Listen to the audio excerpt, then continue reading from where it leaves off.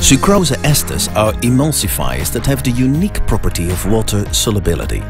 While most emulsifiers are fat soluble, sucrose esters dissolve better in water. The best way to work is to add sucrose esters to cold water.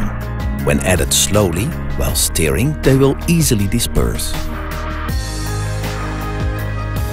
Even better dispersion is achieved when sucrose esters are premixed with other ingredients like sugar, starch or milk powder.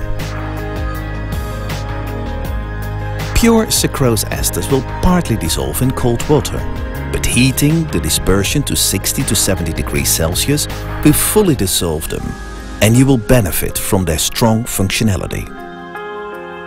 A solution of 1% Sisterna SP70 in water is a low, viscous, glopsy liquid that is almost transparent. When you add pure sucrose esters to hot water, there is a risk of lumping. When lumps are formed, it is difficult to get rid of them. Intensive shear and extra time will eventually dissolve the lumps, but it is better to avoid this method of dissolving. When your only option is to add sucrose esters to hot water, try to premix them with other ingredients like sugar, starch or milk powder.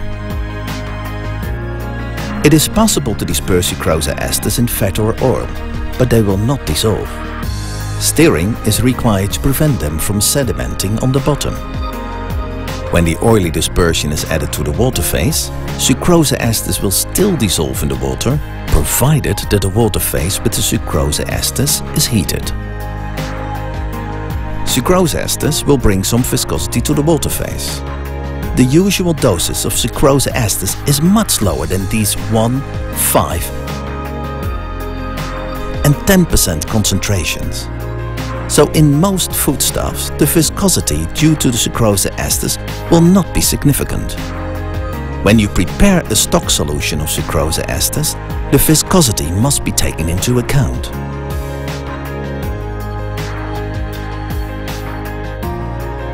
For more information, contact Sisterna.